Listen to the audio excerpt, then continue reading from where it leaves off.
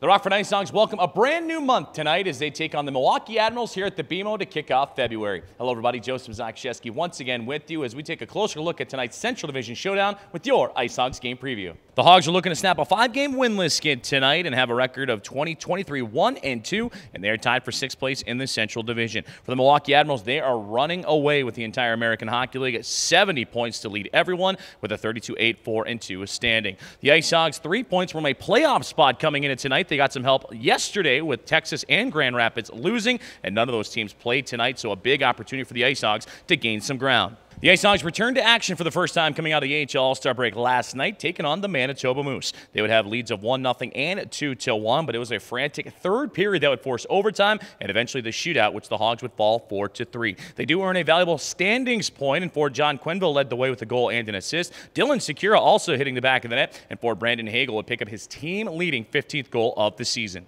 For the Milwaukee Admirals, they're picking up right where they left off before the AHL All-Star break as they skated away with a 7-4 victory against the Chicago Wolves last night. For Cole Schneider, his first game back from injury, would score two goals and an assist. The same would go for Freddie Gaudreau with two tallies and two helpers, and Daniel Carr with a goal and three assists. And that was the second time the Admirals have scored seven goals this season. Their last time was just a weekend ago against the Rockford Ice Hogs. And they have been rolling along a four-game winning streak coming into tonight. They have eight wins over the last nine games and only five regulation losses since December 1st, going 16 5 and 3.